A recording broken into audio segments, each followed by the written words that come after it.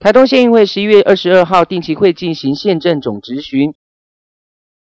很卖力对我们部落，你看我们学习要找他们，做什么事情要找他们，该给他们的尊重也要有，不要永远就是消费这些头部嘛。有活动的时候投今天，不一定是要钱嘛，不一定是新台币，是不是可以做这样的方式？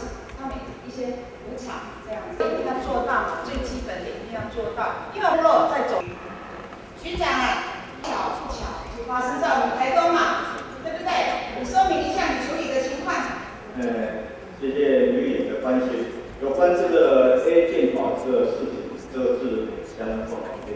其实我们成功镇卫生所，因为上次这报纸把它报章出来的时候，是因为他们东西要被停业一年，所以这个事情呢，我在这给吕演报告。其实成功卫生所的他是从这个基督教医院，又从开业一到最后肯到成功之后，支援边缘的地区去服务。他到那边去服务，到卫生所去的时候，他的病人从一个月三十几个人到一个月两千个人。我们把南岛文化节放在淡季，就是希望在淡季的时候还可以带一些观光客进来。前天晚上我在杜兰哈。杜兰那场真的，我杜兰从来没有这么多人过。我有上台，我就问外地来的请举手，快要一半，很成功。那昨天晚上我在洛神花季啊，到金光去洛神花季，那也有很多外地来的人下去一起跳，好，所以这个我想就是在达成我们的目的了，就是我们怎么样？没有，我们已经改改改进。那现在现在你你觉得是出案子到你这边，你的程序如何？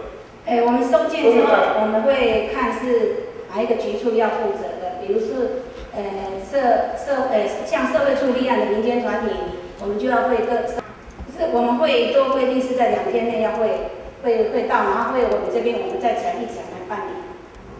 我们现在尽量。对时间多少了？因为有一定的时间上公文啊，像普通的我们公务人员办公有普通件啊，有数件啊，有呃提速件啊。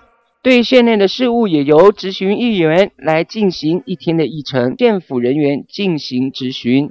以上新闻是由张玉成在台东的报道。